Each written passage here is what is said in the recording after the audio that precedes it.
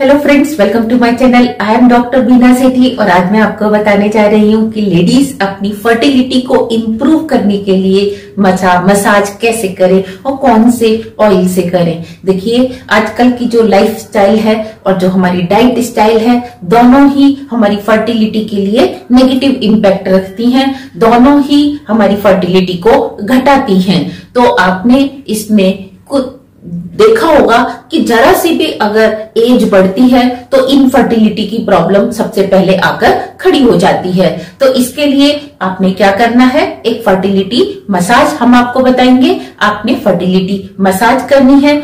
दिन में आप सुबह, दोपहर, शाम कभी भी कर सकते हैं। एक बार या दो बार मैक्सिमम सारा दिन मसाज नहीं करनी है। और इसके लिए आपने या तो कैस्टर ऑयल जिसको अरंडी का तेल कहते हैं, या आपने जैतून का तेल, जिसको ऑलिव ऑयल कहते हैं, वो लेनी है। अगर आपके पास ये दोनों ही ऑयल नहीं है तो आपके पास सिंपल घर में या तो मस्टर्ड ऑयल होगा, सरसों का तेल कोकोनट ऑयल होगा, कोई सा भी तेल है, आप वो तेल जो कि थोड़ा चिकना ज़्यादा हो, आप वो वाला ऑयल लीजिए। फिर उसके बाद अपनी इन दोनों फिंगर्स को, ये जो बीच वाली दोनों फिंगर्स हैं इनके ऊपर आप ऑयल लगाइए, अपने पेट के ऊपर ऑयल लगाइए और इनको नेवल के दोनों तरफ़ रखकर पहले क्लॉकवाइज दस बार घुमाइए। मतलब नेवल से, जैसे यहाँ नेवल है तो आप इससे दो इंच दूर आ जाइए दोनों फिंगर्स को, दो इंच दूर करके और फिर इसको ऐसे क्लॉकवाइज घुमाइए पेट के ऊपर दस बार और दस बार एंटी क्लॉकवाइज घुमाइए।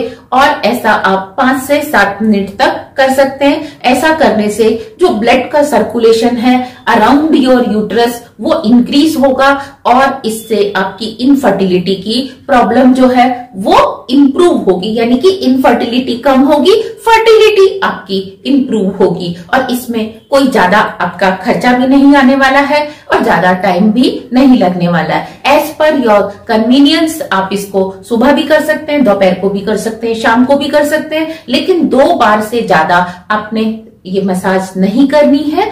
तो ये था हमारा आज का वीडियो, जिसमें हमने आपको बताया कि फर्टिलिटी मसाज कैसे करें। अगर आपको ये अच्छा लगा तो आप प्लीज़ अपने फ्रेंड्स के साथ इसको शेयर करिए, हमारे चैनल को लाइक और सब्सक्राइब करिए। Thank you very much all the very best